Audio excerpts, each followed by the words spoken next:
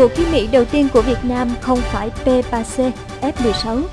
Quý vị thân mến, theo nhận định từ nhiều chuyên gia quân sự, Việt Nam khả năng sẽ đặt mua trực thăng đa dụng của Hải quân MH-60R Seahawk do đang có nhu cầu cấp thiết. Trong thời gian qua đã có nhiều dự đoán liên quan tới vũ khí mà Việt Nam có thể đặt mua từ Mỹ.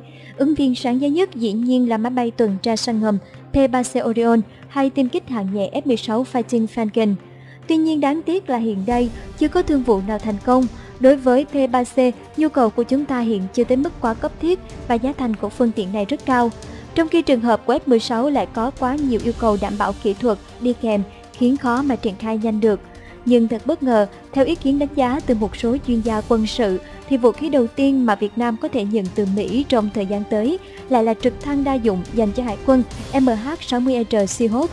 Trong biên chế Hải quân Việt Nam hiện đang thiếu một trực thăng chống ngầm, nhưng lại có khả năng triển khai tên lửa chống hạm thông qua radar trinh sát bề mặt để làm cánh tay nối dài của tàu chiến như nhiều lực lượng hải quân trong khu vực. Trực thăng K-28 của Việt Nam hiện chỉ là loại đơn nhiệm thuần túy cho chức năng chống ngầm. Nga đã giới thiệu loại K-52K có thể tấn công mục tiêu mặt nước nhưng lại không còn khả năng chống ngầm. Trong năm 2015, tạp chí Quốc phòng Jens thông báo chúng ta đã có các cuộc đàm phán về việc đặt mua trực thăng AW159 Wildcat nhưng vẫn chưa đi đến đích. Hiện nay, theo đánh giá thì ứng viên sáng giá nhất đối với Hải quân Việt Nam không ai khác mà chính là chiếc MH-60R Seahawk do Mỹ sản xuất. Nó đáp ứng được tất cả các tiêu chí cũng như là tính năng vượt trội, độ tin cậy cao và đặc biệt là giá thành cạnh tranh. So với Z9D của Trung Quốc, MH-60R ưu việt hơn ở tầm bay, tải trọng và cả hệ thống điện tử hàng không. Ngoài nhiệm vụ tác chiến chống ngầm hay chống tàu mặt nước, thì nó còn mang được cả tên lửa chống tăng AGM-114 Hellfire để yểm trợ hỏa lực cho Hải quân đánh bộ. Đây là chiếc trực thăng 3 trong 1 hàng đầu thế giới hiện nay. Quan hệ quốc phòng Việt Nam Hoa Kỳ thời gian qua đã có những bước tiến vượt bậc. Mua vũ khí sát thương không còn là rào cản lớn nhất, nhất là khi phía Mỹ từng bày tỏ rằng muốn chúng ta mua vũ khí của họ như một biện pháp làm cân bằng cán cân thương mại. Nếu mọi việc tốt đẹp, trong tương lai không xa, nhiều viễn cảnh chiếc MH-60R Seahawk sẽ có mặt tại giải đất hình chữ S trước P3C Orion hay là F-16 Fighting Falcon là hoàn toàn khả thi. Phiên bản đất đối không ít biết của tên lửa R-77 Quý vị và các bạn thân mến, tên lửa không đối không ngoài tầm nhìn Vinpen R-77 được ra mắt vào năm 1992 tại triển lãm hàng không Moscow. Đây là vũ khí không chiến hàng đầu của không quân Nga, cũng như nhiều quốc gia sử dụng máy bay tiêm kích do Liên Xô và Nga sản xuất. R-77 có thiết kế khí động hộp rất đặc biệt, với bốn cánh dạng chữ nhật vác đầu, cùng với bốn cánh nhỏ hơn dạng mắt cáo phía đuôi tên lửa. Mỗi cánh lớn cũng có thiết kế khung, bên trong có các miếng kim loại dạng lưới, nhằm giúp tăng diện tích bề mặt cánh lái, tăng tốc độ bay mà vẫn làm giảm khối lượng. Sau khi máy bay khai hỏa, trong pha đầu sau khi được phóng, R-77 bay theo quán tính với dữ liệu về mục tiêu được cập nhật từ radar của máy bay phóng như vị trí thay đổi, G-load của mục tiêu. Đến pha cuối, R-77 sẽ chuyển sang dùng radar chủ động của nó. Khi chế độ chủ động được kích hoạt, radar của tên lửa sẽ lưu giữ thông tin mục tiêu đã tính toán để sử dụng phòng trường hợp đối phương thoát vùng ảnh hưởng. Nếu đầu dò bị gây nhiễu, R-77 lại chuyển sang chế độ thụ động và lần tìm theo nguồn phát nhiễu để tiêu diệt. R-77 còn có một phiên bản sử dụng đầu dò hồng ngoại pha cuối.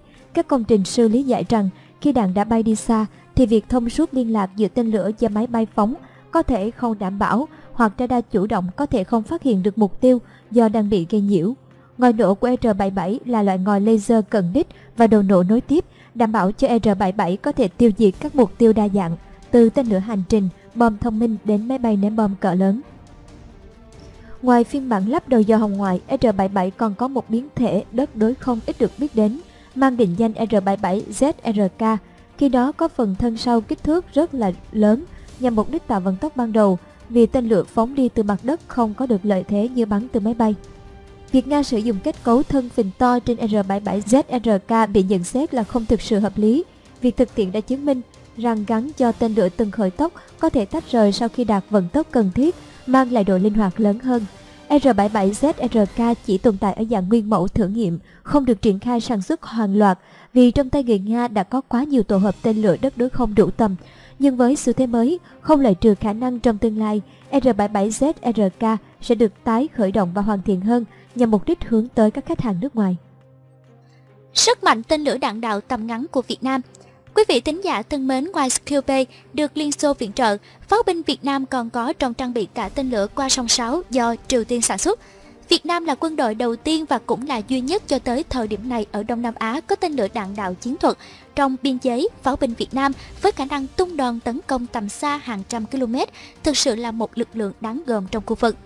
Theo số liệu do Viện Nghiên cứu Hòa bình Quốc tế Stockholm SIPRI công bố, thời điểm năm 1981, Việt Nam đã nhận từ Liên Xô 4 xe mang phóng tự hành 9B117 cùng 25 đạn tên lửa R-17 Eros Skirby. Tên lửa Skirby có chiều dài 11,25m, đường kính thân 0,88m, trọng lượng phóng 5.900 kg, mang theo đầu đạn nặng 985 km, tầm bắn 300 km, vận tốc tối đa Mach 5 tương đương với 1,7 km trên một giây và độ sai số là 450 m. Độ chính xác không được đánh giá cao nhưng dựa vào đầu đạn lớn, tên lửa Skill tỏ ra cực kỳ nguy hiểm khi dùng để hủy diệt căn cứ quân sự, sân bay, bến cảng hay địa điểm tập trung quân lớn của đối phương. Vận tốc cao khiến tên lửa Skill rất khó bị đánh chặn, thể hiện qua việc hệ thống phòng không Patriot của Mỹ đã rất nhiều lần bắn rơi Skill tại chiến trường Trung Đông. Tuy nhiên do tiếp nhận đã lâu, bộ số đã xuống cấp và vài quả đã được sử dụng trong các lần bắn đạn thật dẫn tới yêu cầu cấp thiết là phải có sự bổ sung lực lượng. Cũng theo Sipri vào năm 1998, Việt Nam đã mua từ Triều Tiên 25 quả tên lửa đạn đạo tầm ngắn hơ qua son 6, hỏa tinh 6. Đây là phiên bản sao chép dựa trên nguyên mẫu Skill C. So với Skill B, hơ qua son 6 tăng trọng lượng phóng lên 6.400 kg, tầm bắn tăng vọt lên 600 km Tuy vậy, để đánh đổi thì đầu đạn của hôm qua song 6 bị giảm xuống còn 600 kg, sai số lớn nhất lên tới 700 m khi bắn hết tầm. Bất chấp những nhược điểm trên, Việt Nam vẫn là quốc gia hiếm hoi ở châu Á, có năng lực tung đòn tấn ra ngoài cự ly 500 km, sức mạnh trăng đe của binh chủng pháo binh Việt Nam rõ ràng không thể coi thường. Việt Nam tự nâng cấp thành công tên lửa KH-29. Quý vị thính giả thân mến, trong thời gian qua, Việt Nam đã nghiên cứu, hiện đại hóa thành công nhiều vũ khí, khí tài, trong đó có tên lửa KH-29TL. Nội dung trên được báo Quân đội Nhân dân nói đến trong bài viết sáng tạo ứng dụng khoa học công nghệ phục vụ công tác tham mưu kỹ thuật đăng tải hôm ngày 22 tháng 4. Trong những năm qua, Ban Tham mưu Tổng cục Kỹ thuật đã chỉ đạo và tổ chức triển khai có hiệu quả các chương trình nghiên cứu, cải tiến, hiện đại hóa vũ khí trang bị kỹ thuật. Trong đó, các hạng mục đã hoàn thành của chương trình cải tiến như cải tiến xe tăng T-54B, radar P-18, tên lửa chống tăng B-72, tự động hóa dàn phóng và tăng tầm đạn hỏa tiễn BM-21 và đặc biệt là tên lửa KH-29TL.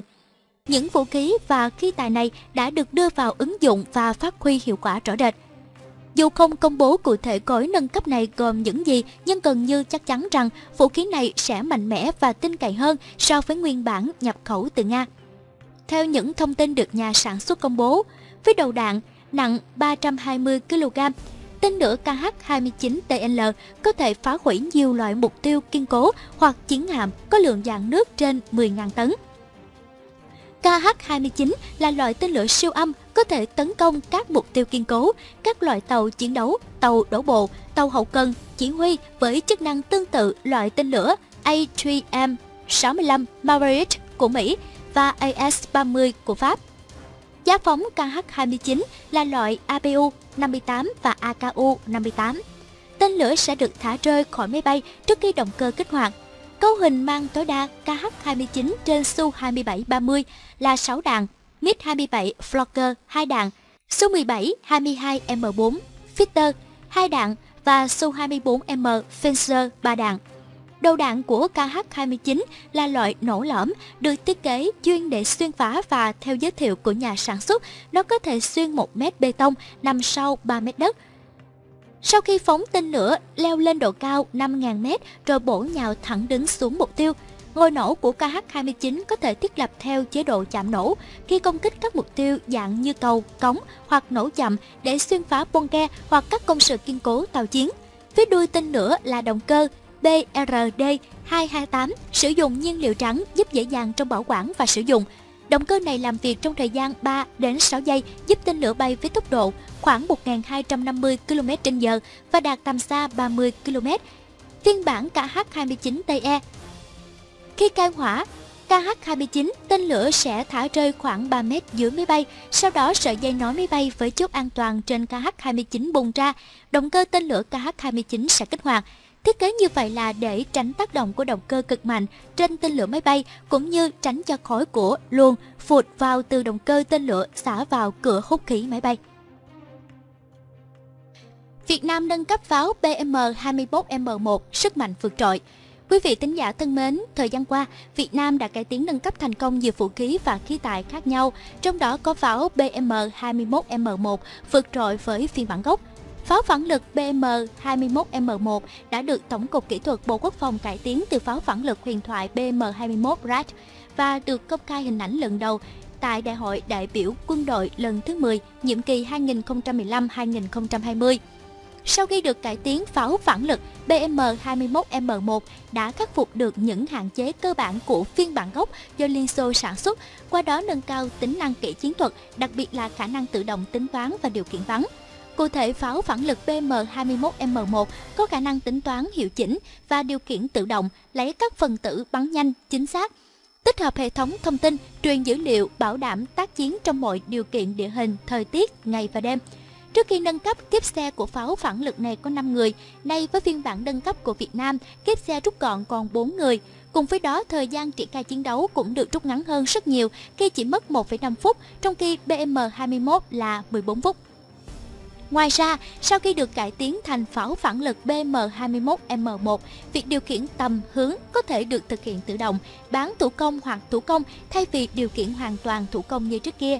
Đặc biệt, trước đây pháo phản lực phiên bản gốc việc tính toán, phân tử bắn thực hiện hoàn toàn thủ công, thì nay với BM21M1 của Việt Nam, việc tính toán phân tử bắn được thực hiện hoàn toàn tự động. Chính vì vậy, độ chính xác khi tấn công mục tiêu của BM21M1 được tăng lên đáng kể. Theo thiết kế, phiên bản tiêu chuẩn pháo phản lực BM21 được thiết kế với dàn phóng pháo 40 nòng cỡ 122mm. Việc nạp đạn được thực hiện bằng tay và mất khoảng 10 phút để lắp hết 40 ống, nhưng chỉ cần chừng 20 giây để bắn hết đạn. BM21 có khả năng bắn nhiều loại đạn, đạn nổ phân mảnh, đạn chống tăng, đạn khói, đạn chống tăng chứa đạn con. Tuy từng biến thể đạn pháo 122mm của BM21 đạt tầm bắn từ 15 đến 40 km, Trước khi nâng cấp thành công với BM21M1, Việt Nam cũng đã nghiên cứu nâng cấp các xe tăng T-54, tên lửa chống tăng B-72 và một số loại xe thiết giáp khác. Tổng cục Kỹ thuật còn tích cực triển khai nhiều đề tài cải tiến, chế tạo trang bị mới cho bộ đội pháo binh.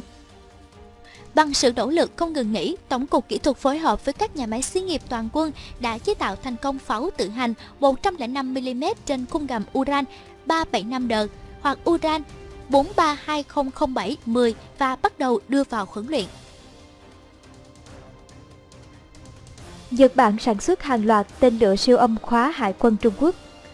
Quý vị và các bạn thân mến, theo kế hoạch loại tên lửa không đối hạm mới này sẽ được không quân Nhật Bản trang bị cho các máy bay tiêm kích F2 ngay trong năm tới. Tờ báo Nhật Bản Yomiuri Shimbun ngày 18 tháng 7 đưa tin, không quân Nhật Bản ASDF sẽ đề nghị phân bổ hàng trăm triệu yên ngay trong năm tài khóa 2018 để sản xuất hàng loạt tên lửa siêu âm mới. Đây là loại tên lửa không đối hạm siêu âm đầu tiên được sản xuất trong nước và sẽ được thiết kế với những tính năng rất khó đánh chặn.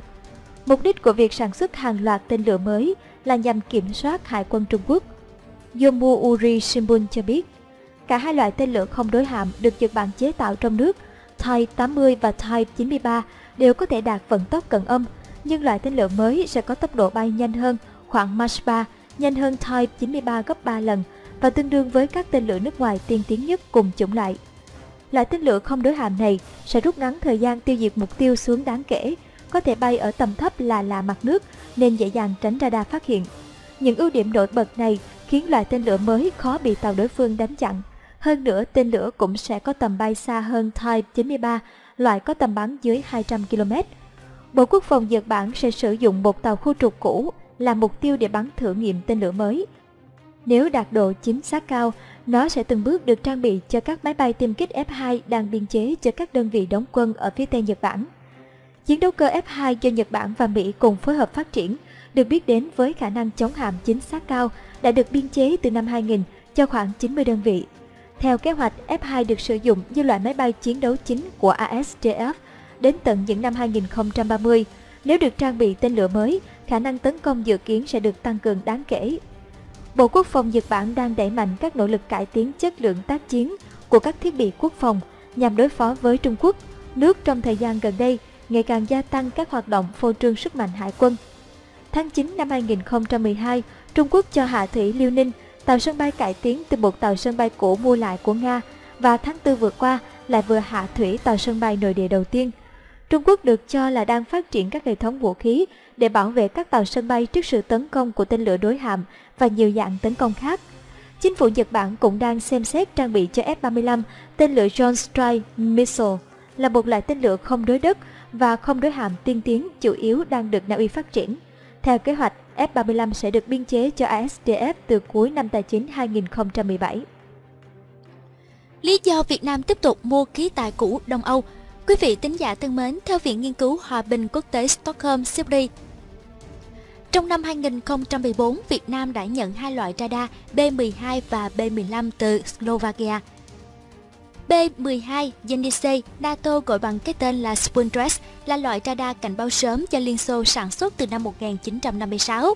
B-12 có dàn anten hình xương cá dài chừng 12m lắp đặt trên trụ quay 360 độ, hoạt động trên băng tầng VHF. Tầm trinh sát tối đa 200 km, độ cao 25 km, công suất 180 kW, độ sai lệch chừng 1 km.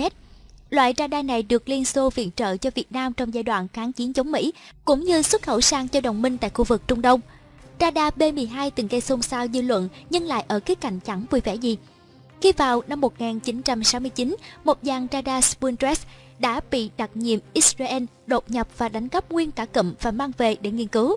Safety cho biết trong năm 2014, Việt Nam đã mua lại hai bộ radar B-12 từ Cộng hòa Slovakia.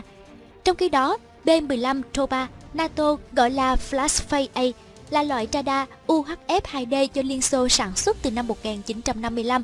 Nó dùng để giám sát, bắt mục tiêu và dẫn đường các hệ thống tên lửa phòng không tiêu diệt. Safety cho biết trong năm 2014, cùng với hai bộ B-12 thì Việt Nam còn tiếp nhận một bộ B-15 cũng từ Slovakia. Radar B15 có kết cấu gồm hai mảng parabol, đường kính 11m đặt trên dưới, bố trí trên trục xoay 360 độ. Góc ngẩng của các bản ờ, Cốt ngẩng của các mảng parabol trong khoảng 2 đến 4 độ, tầm trinh sát tối đa của B15 là 150 km, độ cao 3 km, công suất 270 kW. Độ sai lệch về cự ly là 0,3 km.